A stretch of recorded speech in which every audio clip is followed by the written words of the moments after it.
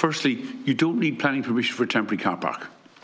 You can park on the grass and you can put 804 and dust on it. As long as it's a temporary car park, you don't need planning permission. No agricultural show gets planning permission, and there's lots of them uh, around the, the country. The, D- the, the point, we're not talking about two different things. There's a, you're, they're not, sorry. If you're going to sit there and kind of say, there's nothing we can do here, the planning process has to take its four-year course, there's nothing we can do. That is not what we elect our uh, governments to do.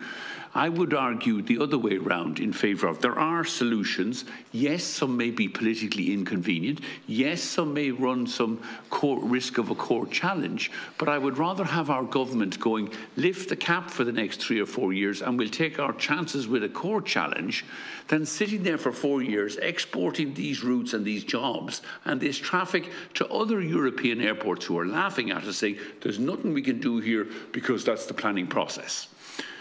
Governments have two choices. They can sit there and do nothing, or they can take action. And I believe that governments who take action will be rewarded at the polls. Um, we can lift the cap. You don't need planning permission for a temporary car park. We only need those additional car. The car park, the DA have said the car parks are full for weekends in July and August. They own 300 acres of land there. It is uh, reasonably straightforward, Again, and you Chairman, could park I, in I those just fields. point out, uh, Mr.